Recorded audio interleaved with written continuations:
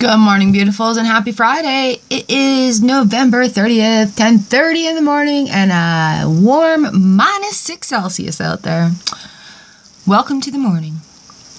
Look at that. It's it's getting foggier. You can like see it rolling in in waves. And there's hoarfrost on the trees, and there's a crap ton of snow on the ground. Damn it, there's a train, and we're not out there videoing it. Um, we have to go downtown today, so hopefully, hopefully, I can catch a train in the fog for the Train Time and Big Machines channel. Ooh, train. It's very foggy, and there's still a crap ton of snow. Yesterday at the post office, I noticed that the look through the trees there in that little heart that that guy who um, goes around and does the personal stuff for the people. We might see the train go by. His tractor broke, so that's very unfortunate. Just waiting to see if I can see it in that little hole. Sorry, I'm so shaky. I don't see the train yet. Maybe it's too foggy. Maybe it's just not here yet. It might just be too foggy. Because normally I can see that thing go by right there. Little heart in the trees. That's so cute. Oh, I see it. Yeah, no, we can't see it right now. You look just over the house by the chimney. Where are we here? Reflecting. Um, you can kind of see it over there. All right, anyways. Woo, zooming in out. Sorry. Train. So happy Friday.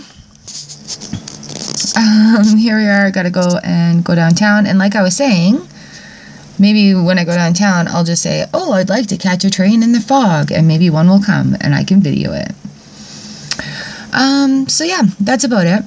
Uh, I had a late, late, late night last night, but a good sleep, so I'm grateful for that and got things to do today. And some things to think about for the weekend. So I'm thinking of applying for a job. I told them I'd drop a resume off on Monday, and she said that'd be really awesome. So actually, I asked when I should drop a resume off, and she said Monday. So that would be really awesome. So we'll see how that goes, and I am going to keep it in suspense until it actually happens. I think I see glitter things in the air. Yeah. So I guess this is my cue to, uh, oh, there we go, sorry. I guess this is my cue to go and get ready to go downtown. It's not a long, long, long way, but when you're trudging through snow, it's definitely cardio. Yeah, the our side streets haven't been plowed yet, so we just need to find the right tracks to go downtown and like we're at the end of our driveway right there, somebody plowed to where the walking path is, which is awesome. Um, but we have like maybe a foot and a half, two feet of snow right there blocking the end of our driveway. And the, the snow in the driveway, you know, is pretty deep. So we'll probably shovel that later to be able to get in and out of the driveway. Oh, big bird. Something in his mouth.